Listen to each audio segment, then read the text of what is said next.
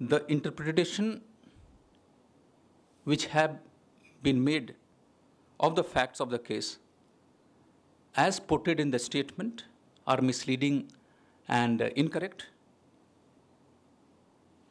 We have to remember that the repatriation of illegal immigrants to their country of origin is in accordance with Indian laws. These actions have been undertaken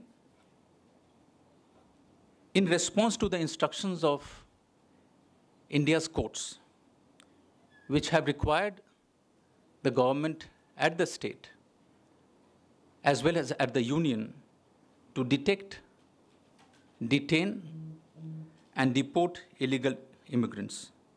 In this sense, the government will continue to take actions as may be necessary to implement the Indian laws and to conform to the instructions of the judiciary.